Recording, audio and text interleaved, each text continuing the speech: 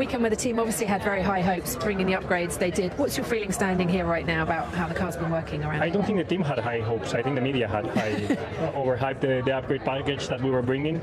We knew that in terms when you look at it, it looks like a new car, but then we knew the numbers, and the numbers were not a huge package. Uh, it were very small details everywhere uh, that we were expecting to help, and I think they did. But uh, when I looked at the track, I saw this track and I said this uh, has always been a McLaren track and a Red Bull track.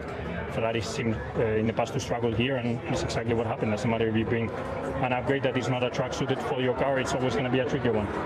So the upgrade, the updates you've got, then the car you've got, where will it fare well? Sorry? Where will the car you have fare well? Where will it race well and qualify well? Um, we tend to race a bit better than we uh, qualified this year, so our hopes are that we can get uh, the car into a podium tomorrow, and uh, we will try our best to do so. So no disappointments then at the update performance. I know the media and the people might be disappointed because they thought, oh, new car, new life, but I knew the numbers, and uh, and the numbers of the new package were not uh, to, to suddenly go P1 like McLaren did in Miami or, or here. Our, our upgrade was smaller than what people think, and I've tried to say that on the media actively all week, and people didn't seem to buy it and expected us to, to kill everyone today. And I was always convinced the, the upgrade is smaller. I cannot tell you the numbers, but uh, if I would tell you, you, you would be surprised. Thank you guys. Thank you.